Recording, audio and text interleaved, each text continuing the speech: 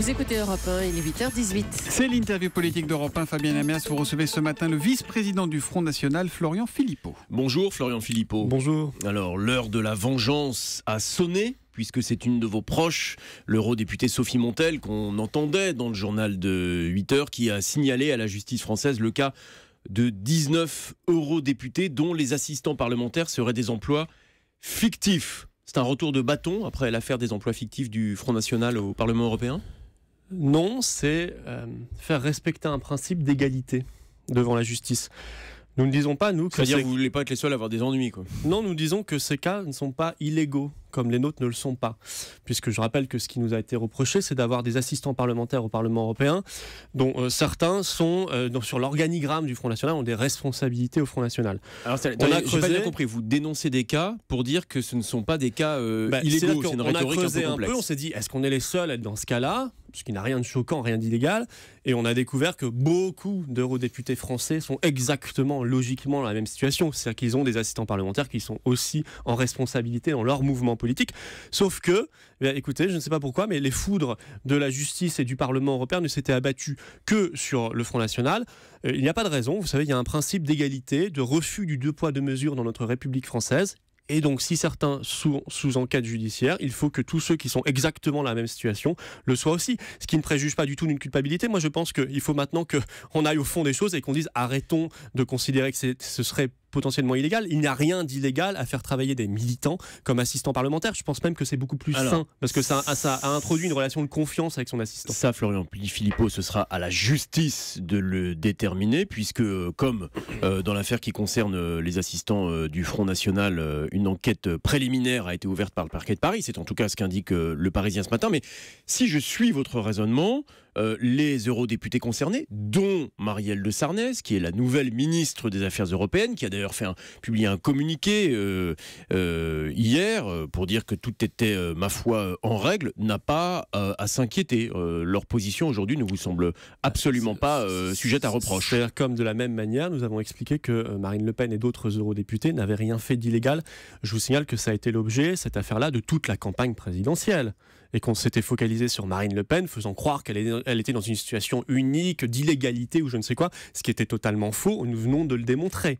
Bon, euh, euh, et donc ce que nous disons, c'est que voilà, il faut maintenant euh, expliquer aux Français qu'il y a eu une affaire un peu montée de toutes pièces pendant la campagne présidentielle contre Marine Le Pen sur un cas qui est parfaitement anodin et normal et qui en réalité concerne énormément de députés français au Parlement européen, dont Marielle de Sarnez. Concernant Marielle de Sarnez, on a été sympathique. On n'est pas remonté à 2009-2014.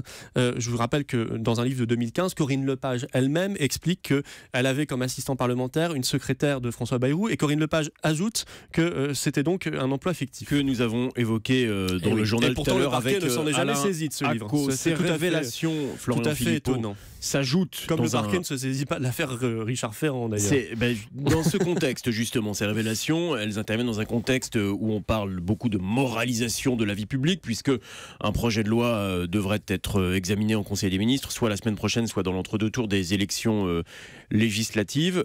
si vous êtes élu parlementaire, puisque vous êtes candidat aux législatives, vous voterez ce projet sur la moralisation de la vie publique? Bah, c'est-à-dire qu'on euh, essaiera de l'amender, parce qu'il y a des choses bien dans ce projet, bien sûr. Euh, par exemple, sur l'alignement des règles au Parlement euh, français, sur les règles du Parlement européen concernant les emplois liés à la famille, etc. Je pense que c'est bien. maintenant, il y a des choses qui sont beaucoup moins bien, et il y a des choses qui manquent. Les choses moins bien... C'est l'idée qu'on va donner quand même une espèce de monopole aux banques pour financer les campagnes électorales. et donc, on va donner le pouvoir aux banques de choisir en gros qui peut être candidat et qui ne peut pas l'être parce qu'elles choisissent comme cela euh, librement de financer tel ou tel candidat sans aucune obligation. Et ça, ça pose un problème. Si vous êtes l'ami du monde bancaire, bah, vous serez financé. Si vous ne l'êtes pas, vous ne le serez pas. Et c'est notre cas, par exemple.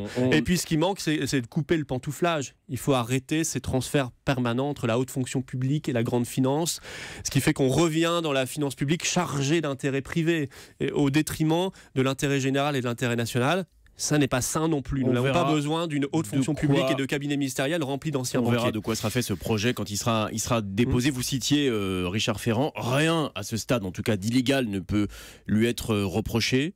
Euh, vous vous ajoutez au concert de ceux qui aujourd'hui, y compris d'ailleurs au sein de la gauche et du Parti socialiste, réclament sa démission du gouvernement? Oui, c'est beaucoup plus sain. pourtant, il n'y a rien d'illégal. Ben, on n'en sait rien, il n'y a pas d'enquête.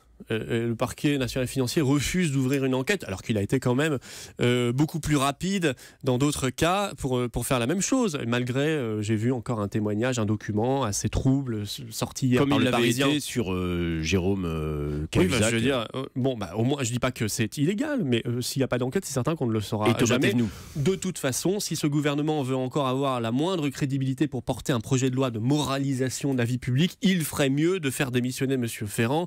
Euh, je pense que ce, serait quand même s'éviter de, de traîner un sacré boulet. Nous sommes en pleine campagne des élections législatives et François Barouin, qui mène cette bataille pour les Républicains, a une position claire. Ce matin, on l'a entendu sur Europe 1, les candidats LR devront se désister pour faire battre le Front National s'ils sont moins bien placés pour le second tour. Il appelle d'ailleurs les socialistes et En Marche à faire de même. C'est-à-dire qu'après la présidentielle, le FN est à nouveau redevenu un parti diabolisé bah non, ça veut dire que euh, LR, euh, les Républicains, n'ont pas l'ambition une seule seconde d'être l'opposition à M. Macron, mais simplement un supplétif. Voilà, c'est tout. C'est clair et net maintenant. Euh, ils, veulent, euh, ils veulent se désister les uns pour les autres, Parti socialiste, En Marche et les Républicains, ce qui prouve qu'ils partagent exactement les mêmes orientations de fond et que les Républicains, ça n'est pas un bulletin de vote d'opposition, c'est un énième bulletin de vote Macron. En fait, dans beaucoup de circonscriptions, les Français auront le choix entre un bulletin de vote Macron, un bulletin de vote Macron, un bulletin de vote Macron, qui s'appellera PS, En Marche, Républicain ou autre, et un bulletin de vote d'opposition déterminé qui s'appelle Front National. Mais nous serons la seule opposition ça ne met constructive, mais euh, au moins une vraie opposition, pas, euh, pas un supplétif de M. Macron. Mais ça ne met pas en difficulté euh, certains candidats du Front National qui auraient pu euh, espérer le maintien de candidats de droite. Et donc on sait bien que le Front National est favorisé par les triangulaires dans ce Mais- type de scrutin. Non, je ne crois pas, parce qu'en entendant cela, en entendant M. Barouin, eh bien, les électeurs vont voter dès le premier tour Front National. Voilà, ceux qui ambitionnaient pour une part de, savez? Bah, pour une part, je sais que certains votaient les Républicains en se disant bah ils laisseront peut-être pas tout passer à Monsieur Macron, qui veut quand même faire venir je ne sais combien de migrants en France, qui veut installer la discrimination positive, ça c'est dans son programme, euh, qui veut mener une politique euh, euh, européenne, économique, sociale très brutale. Bah, ils vont voter dès le premier tour Front National. En tout cas, je les encourage à le faire. Au moins, ce sera efficace. Florian Philippot, pour parler un petit peu de vous, vous êtes candidat dans la sixième circonscription de Moselle. Est-ce qu'au-delà de votre, de- du siège de député que vous convoitez, c'est votre avenir et votre poids au Front National qui est aujourd'hui en jeu Donc, vous savez, moi, on me dit ça à chaque élection. euh, France que je la 2, gagne hier, ou vous prêtez des propos dans une enquête sur le Front National. Vous auriez dit, si je ne gagne pas, ce sera très compliqué pour le congrès du parti qui suivra les élections. C'est vrai? Non. Ah, j'ai même pas vu, euh, j'ai même pas vu euh, cette, cette affaire, mais, euh, mais non, France 2 est mal renseignée. Si vous perdez ces élections, vous gagner, je vous continuerez rassure. vos- Je votre pars- vie politique, je, pars, je- pour gagner et, et je, ne, je ne suspends pas une, un combat politique pour des convictions. Moi, mon combat, c'est pour la France. Voilà, c'est simplement cela, pour que la France soit de nouveau un pays indépendant, un pays prospère, un pays juste, un pays grand, un pays sûr. Et, et- et- mais j'espère gagner cette élection législative, comme j'espère qu'un maximum de mes amis au Front National seront élus si députés vous la patriotes. Perdez, est-ce que vous continuerez votre combat politique ou est-ce Bah, que bien vous sûr. estimerez que Bah, vous avez été euh, désavoué par les électeurs non, Enfin, vous savez, une vie politique, ce sont des. J'ai déjà connu des victoires, j'ai déjà connu des défaites. hein. Vous voyez, en quelques années de, de candidature. Sur le terrain, on vous réclame, les gens qui viennent vous voir, ils vous réclament la sortie de l'euro? Puisque Euh, c'est euh, l'un beaucoup- de vos fers de lance Beaucoup sur le terrain. Euh, je suis dans une région qui a voté non en 2005, comme une majorité de Français à la Constitution européenne. D'ailleurs, on fêtait hier les 12 ans de ce non, qui malheureusement n'a pas été respecté par l'UMP et le Parti Socialiste. hein. ça, c'est une autre affaire qui a été trahie. Oui, les gens sur le terrain me disent on n'en peut plus de cette Union européenne Alors, qui nous tue. mais pourquoi Euh, dans ce cas-là, le qui- Front National semble aujourd'hui euh, en passe de renoncer à cette proposition?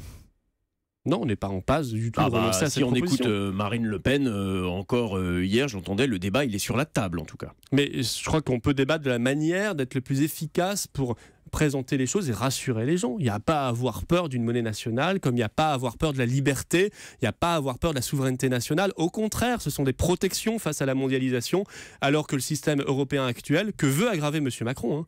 Attends, je, je- je vais quand même aller un tout petit peu au fond de cette affaire-là. Macron- parce qu'on arrive au terme de Monsieur. Macron, pour sauver l'euro à tout prix, annonce qu'il veut un budget commun de la zone euro.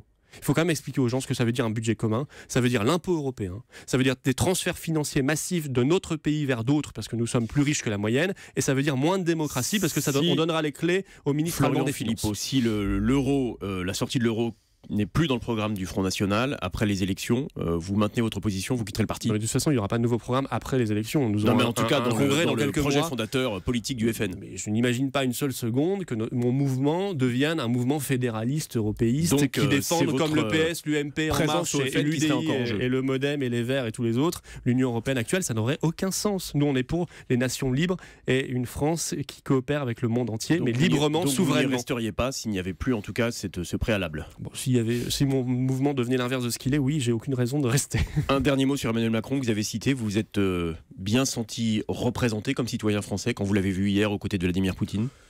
Sur, le, sur la forme, euh, moi j'étais heureux de cette rencontre à Versailles. C'est bien de montrer au monde euh, que notre pays est une belle histoire, une grande la façon dont le président français euh, je n'ai pas de reproche, sa diplomatie depuis son élection. Je, n'ai pas de reproche à lui faire de ce point de vue-là. Nous verrons ensuite concrètement ce que donne cette, ce partenariat avec la Russie, notamment dans la lutte ah. contre le terrorisme islamiste. Un satisfait c'est rare du Front National. Peut-être que ça se reproduira pas beaucoup dans le quinquennat, faut en profiter. Merci beaucoup Florent Philippot d'avoir été en direct ce matin sur Europe 1 et à demain matin Fabien. À demain.